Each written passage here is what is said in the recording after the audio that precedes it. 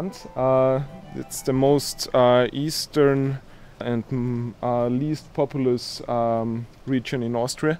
It was also kind of a poor country for a long time, and this can also be seen with the houses they have. These houses are also wooden houses. There are wooden walls which are plastered with clay to have kind of a, a insulation. And another special thing about the houses in Burgenland are the thatched roofs.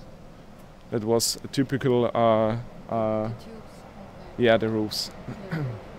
and we uh, have started doing uh, the dating and analysis of, of the tree rings uh, in this museum uh, about two years ago.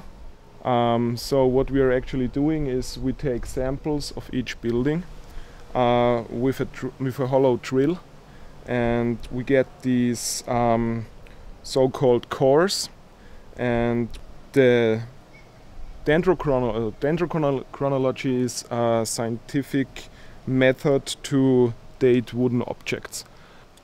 It depends on, on the width of a tree ring so what we do is we measure the tree rings um, and compare the sequence with a known chronology.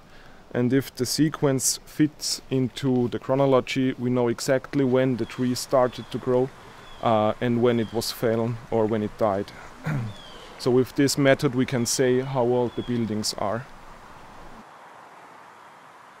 Most houses when we get uh, towards towards western regions are built um, of spruce, as a softwood, uh, spruce, pine, fir, larch maybe.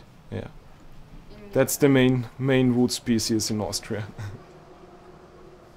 and yes, here you can see um, parts where we have taken uh, the samples for dendrochronology. Um, after drilling the logs, uh, we put these uh, fittings into them um, to avoid insects uh, getting into the wood.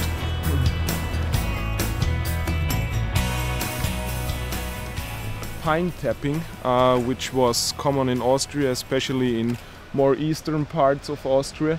From one tree you can gain about uh, three to four kilograms of, of resin uh, per year and this profession has disappeared uh, nearly completely until now because of new uh, chemical processes.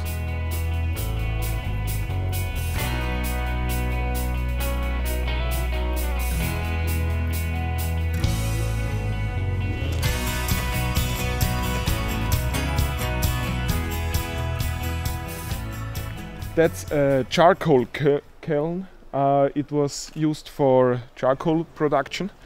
So uh, the workers put up this kind of kiln um, and covered it with earth. Then they uh, put fire into it and it took about two to three weeks until the, the wood was burned and uh, charcoal was, was produced.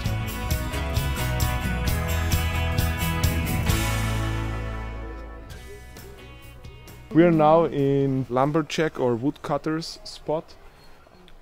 These people used to live at the place. Uh, they worked of about one week and in summer they often spent the whole summer in the forest and lived in this kind of huts.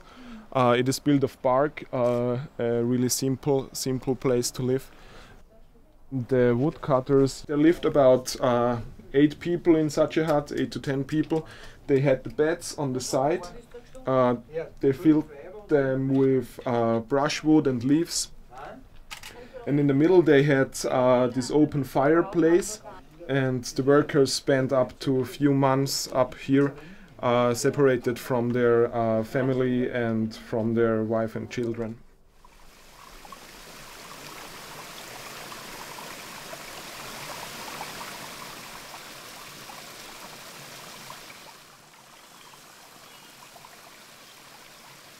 Um, this is a so-called Venetian uh, gang mill.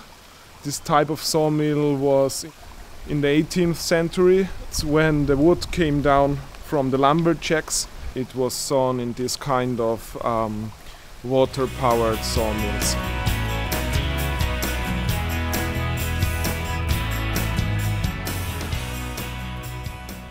This is a so-called overshot water wheel, which means that the water drops on the wheel from above.